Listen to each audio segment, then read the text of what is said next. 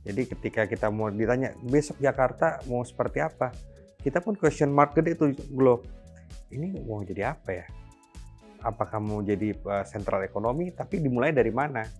Jadi masalah kekhususan ibu kota itu dengan DKJ ini banyak hal yang uh, suprastruktur yang harus sebenarnya dibicarakan dengan kita semua. Tapi ini kan diputus sendirian aja. Mm, Berarti dalam secara sepihak dong, Ya. bisa dibilang. Ya hari ini ya faktanya seperti itu DPR dengan pemerintah pusat ya kan. Ya, karena memang domainnya di situ awal itu.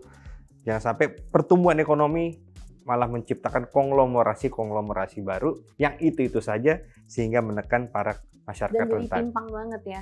Hari ini kalau kita bicara tentang kemacetan, solusinya bukan kita mengganti dengan mobil listrik. Solusinya pasti kita harus membangun apa transportasi massal yang integrated. Jadi siapa pun yang mau berkontestasi di Jakarta, dia harus siap. Karena dia akan diuji dalam segala aspek.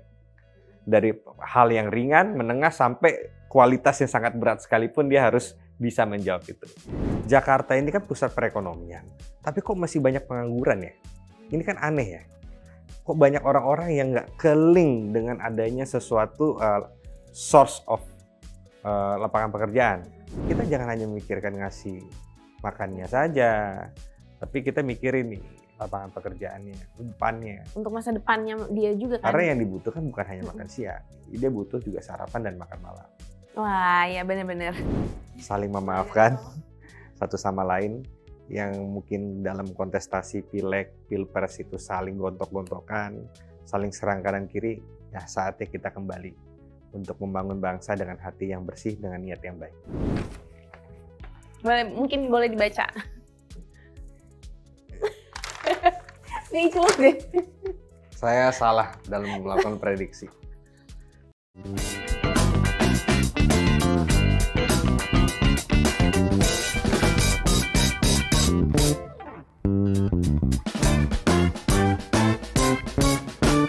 Halo semuanya Sobat Medcom, ketemu lagi di Kepo, Kenal Politik. Kali ini bareng aku Glorinata, kalau biasanya bareng Theo. Nah sekarang ada kita ada kedatangan tamu spesial, eh, calon gubernur muda berbakat dari Partai Nasdem, yaitu kakak Wibi Andrino. Tepuk tangan dulu.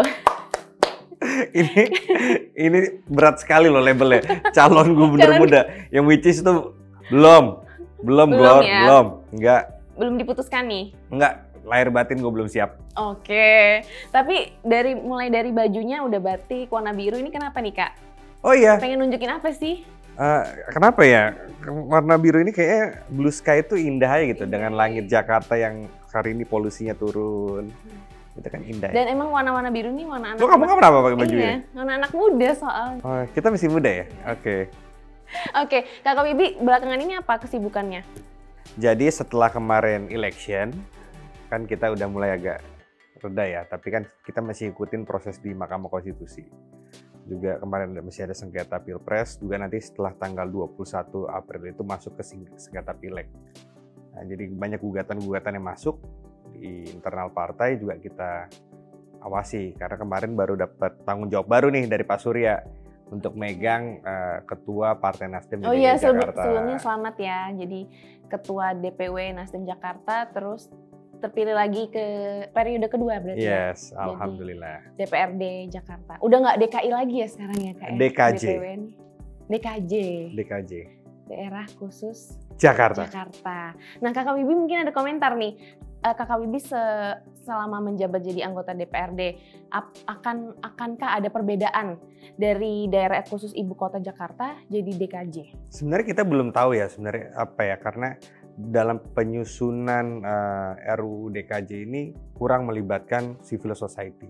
Yang pertama, kemarin sempat viral juga eh, opini dari Pak Bima Arya, Wali Kota Bogor, kok gua nggak pernah diajak ngomong ya? Nggak usah jauh-jauh, kita yang di Jakarta misalnya, Jakarta sendiri DPRD DKI Jakarta perannya tuh sedikit sekali dalam hal eh, penyusunan RUU DKJ ini. Itu kan lebih banyak dibahas di Komisi 2, di Balek, ya kan? Jadi ketika kita mau ditanya besok Jakarta mau seperti apa, kita pun question mark gede itu glow. Ini mau jadi apa ya? Apakah mau jadi uh, sentral ekonomi? Tapi dimulai dari mana? apalagi wacana aglomerasi misalnya kan ada sampai di Bogor, Cianjur dan lain itu skemanya seperti apa? Sebenarnya strength point daripada perpindahan ekonomi apa perpindahan ibu kota itu apa sih? Apakah itu mau kabur dari bencana banjir Ya, katanya atau turun terus polusi tanahnya. ya kan, Mm-mm. terus juga kemacetan uh, mau tinggalkan Jakarta atau mau mau pindah ibu kota untuk nanti Jakarta bisa membangun sendiri. Nah, skema-skema ini emang harus dibicarakan dengan jelas. Kemarin aktivis lingkungan Walhi juga sempat uh, declare kan sebenarnya ini kok nggak ngelibatin kita semua sih dalam RUU DKJ ini. Tapi kan ini sebenarnya inisiatif dari DPR juga ya. Ya ini kan nasib dari pemerintah ya dan DPR. Tapi dari DPRD sendiri tidak sedikit minim dilibatkan begitu. Ya bisa dianggap itu- ada dan tiada lah. Contoh misalnya kan kalau kita ngomong uh, hari ini uh, Jakarta mau ke mana? Kalau sistem setelah menjadi tidak menjadi ibu kota gimana? Apakah besok ada pemilu tingkat dua? Misalnya kan kita kan nggak jadi ibu kota lagi, kekhususannya pasti sudah berbeda dengan kekhususan sebagai ibu kota. Idealnya memang apakah harus ada wali kota yang dipilih atau tetap wali kota yang ditunjuk? Apakah ada DPRD tingkat dua ataupun tidak? Ini kan harusnya dibicarakan. Berarti belum sampai detail, tapi ya udah tar- disahkan nih. sudah disahkan dan itu Mm-mm. tidak ada ya kan. Terus juga kayak misalnya Oke. sistem pemilu apakah tetap menggunakan skema dua putaran seperti yang lalu-lalu atau satu putaran saja. Jadi masalah kekhususan ibu kota itu dengan DKJ ini banyak hal yang uh, suprastruktur yang harus sebenarnya dibicarakan dengan kita semua. Tapi ini kan diputus sendirian aja. Mm, Berarti dalam- secara sepihak dong, Ya. bisa dibilang. Ya hari ini ya faktanya seperti itu DPR dengan pemerintah pusat ya kan. Ya, karena memang domainnya di situ. diputus dengan cepat karena memang sudah status ibu kota sudah selesai kan harus pindah ke IKN ya kita lihat aja nanti mungkin banyak gugatan-gugatan dari civil society untuk memasukkan frase-frase yang memang diinginkan oleh masyarakat. Oke. Berarti belum ada gambaran ya nanti akan jadi seperti apa nih perbedaannya DKI Jakarta dengan DKJ. Belum ada ya di gambarannya. Soal dibilang pusat perekonomian, pusat perekonomian apa gitu? Apakah eh, industri sepatu, tempe, atau budidaya lele? Ya Tapi kalau dari Partai Nasdem sendiri kan sebenarnya menyetujui ya. Ya. Cuman satu fraksi yang nggak setuju kan. Nah, catatan dari Partai Nasdem ada catatan Ya. mungkin. yang menjadi catatan penting kita tentang eh, pemilu di Jakarta ya. Kita pingin ini gubernur ini tetap dipilih oleh rakyat dari rakyat untuk rakyat. Itulah strength point kita terkait dengan pusat perekonomian juga kita tidak mau nanti ada ketimpangan baru di Jakarta yang makin melebar.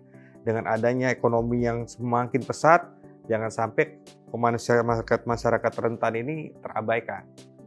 Dengan misalnya ada pressure untuk menaikkan nilai pajak, jangan sampai masyarakat rentan ini juga tertekan sampai apalagi terusir daripada Jakarta itu sendiri. Jadi poin-poin penting inilah kami titipkan kepada teman-teman fraksi Nasdem di DPR untuk disampaikan dan untuk dikawal dan dijaga.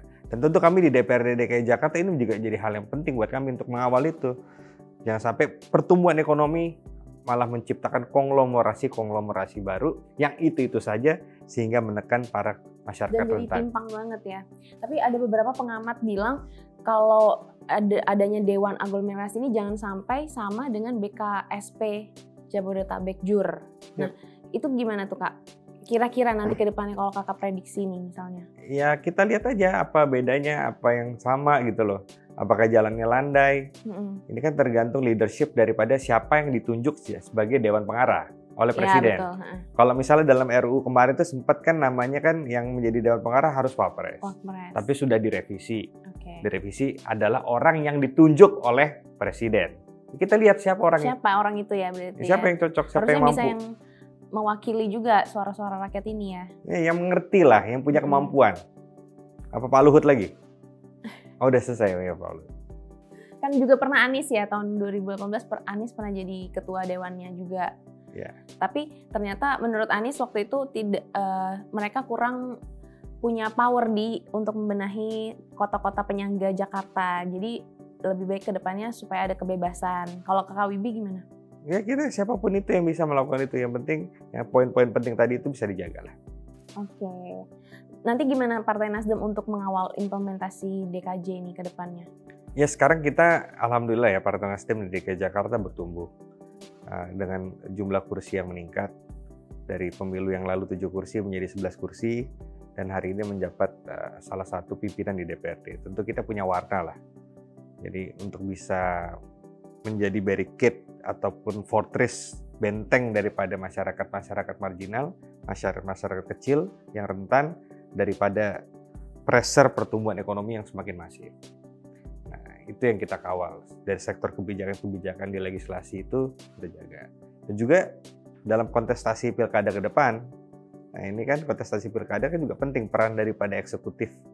Ketika memang konsep daripada undang-undang DKJ seperti itu, nah, hari ini posisi sentral ada si pelakunya, siapa? Gubernurnya itu sendiri. Apakah the next governor of Jakarta ini memang punya will untuk protect untuk masyarakat kecil, di samping juga dalam hal peningkatan perekonomian. Oke. Nah, kalau kakak melihat kan sebenarnya dengan adanya aglomerasi ini bisa lebih fokus misalnya membenahi banjir atau transportasi umum. Kalau kakak Wibi mungkin udah punya ide-ide baru. Ya, hari ini kalau kita bicara tentang kemacetan, solusinya bukan kita mengganti dengan mobil listrik. Ya, solusinya pasti kita harus membangun apa transportasi massal yang integrated. Ya kan, hari ini dengan adanya aglomerasi itu diharapkan orang yang mencari kerja di Jakarta, yang melewati Jakarta, yang melintasi aspal Jakarta itu ya dari banyaknya dari Depok, dari Bekasi, dari Tangerang misalnya seperti itu. Nah inilah harus dibangun basis daripada transportasi massalnya.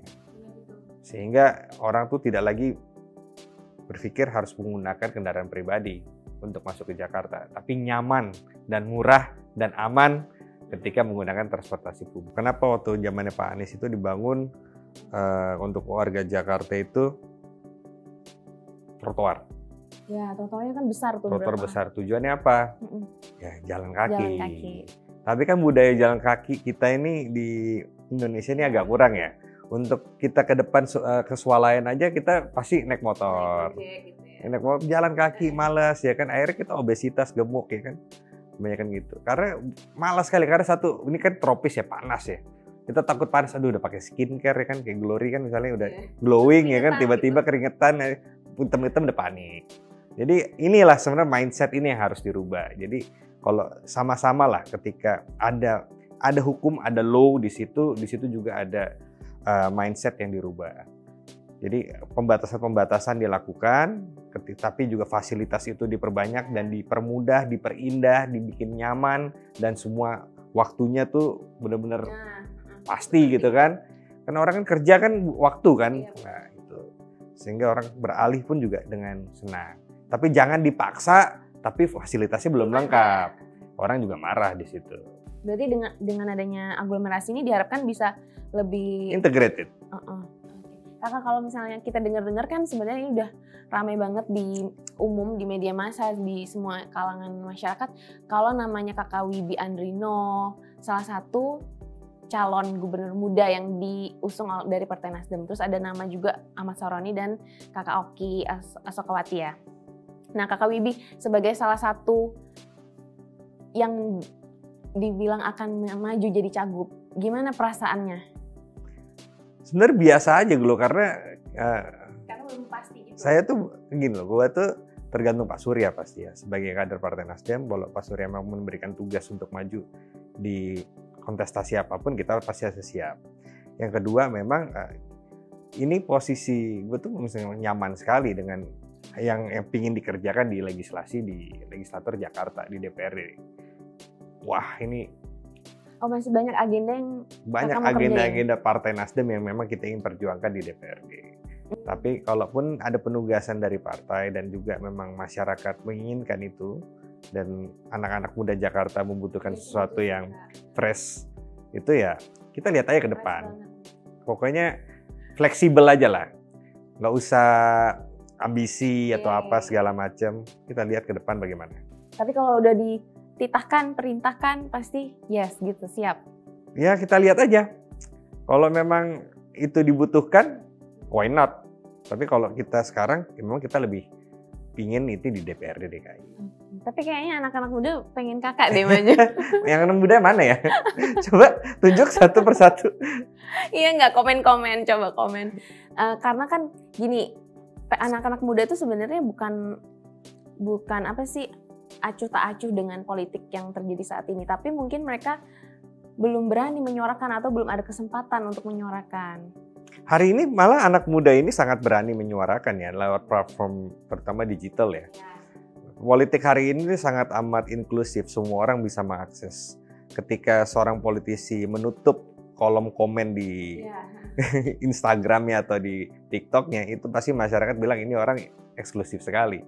Ataupun dia mencitrakan dirinya seperti apa itu akan terlihat sekali. Jadi uh, fake maupun yang pure itu terlihat. Orang bisa menilai ya, ya. Sangat menilai khususnya di Jakarta ya. Mungkin di daerah-daerah lain masih uh, berbeda karena faktor bansos itu sangat amat tinggi mungkin di daerah-daerah lain. Tapi kalau di Jakarta ini kan orang pure uh, well educated. Mau dia ekonominya bawah, menengah atau atas, tapi mereka udah source of informasi udah sangat amat masif. Jadi siapa pun yang mau berkontestasi di Jakarta, dia harus siap. Karena dia akan diuji dalam segala aspek. Dari hal yang ringan, menengah, sampai kualitas yang sangat berat sekalipun dia harus bisa menjawab itu. Jadi uh, memang uh, itulah Jakarta nah, membedakan. Sangat membedakan dari akademisi pasti akan bertanya soal bagaimana konsep pembangunan kamu ke Jakarta ke depan dari sektor ya kan ya. universitas. Dari rakyat menengah misalnya middle income dia akan nanya, saya ingin sustain, saya nggak mau jatuh ke dalam uh, middle income trap misalnya seperti itu, jatuh ke bawah karena bantuan-bantuan sosial itu tidak terjamin. Dia pasti akan bertanya. Belum lagi kalau kaum rentan yang di bawah, dia akan bertanya lagi, saya ingin naik kelas, saya nggak mau jadi kelompok miskin terus. Itu bagaimana dari pemerintah untuk bisa menunjang itu. Nah, hal-hal itulah seorang pemimpin Jakarta yang memang secara spektrum berpikirnya harus benar-benar. Luas gitu ya. Gitu. Oke, okay. Oke, okay. tapi kakak kalau selama jadi anggota DPRD ini apa sih eh, program-program atau rencana kerja yang belum sempat dilakukan yang akan nanti dilakukan di periode selanjutnya? Iya, terutama yang paling penting adalah soal eh, pekerjaan, lapangan pekerjaan yang menurut gue tuh masih sangat amat kurang netes gitu loh. Jakarta ini kan pusat perekonomian, tapi kok masih banyak pengangguran ya? Ini kan aneh ya. Kok banyak orang-orang yang nggak keling dengan adanya sesuatu uh, source of uh, lapangan pekerjaan. Jadi kalau misalnya pemerintah bisa membuat satu sistem link and match itu untuk bisa menyatukan anak-anak yang baru lulus sekolah, vokasi, apa segala macam dengan perusahaan-perusahaan yang hari ini membutuhkan, ini kan sebenarnya kan akan mengurangi beban uh, lapangan pekerjaan. Jadi uh, subsidi itu jadi bisa berkurang ketika ada lapangan pekerjaan ya. dong. Jadi bebannya itu jangan hanya pemerintah, kita jangan hanya memikirkan ngasih makannya saja, tapi kita mikirin nih lapangan pekerjaannya, umpannya. Untuk masa depannya dia juga kan. Karena yang dibutuhkan bukan hanya makan siang, dia butuh juga sarapan dan makan malam. Wah, ya benar-benar. Jadi nggak cuma makan siang, kalau bekerja kan otomatis bisa beli makan pagi ya, dan kan dia mau beli skincare juga. Iya, iya. Nggak mungkin Apa? masa skincare dari bansos. Iya kan? Nggak cukup. Nggak cukup. Nggak bisa.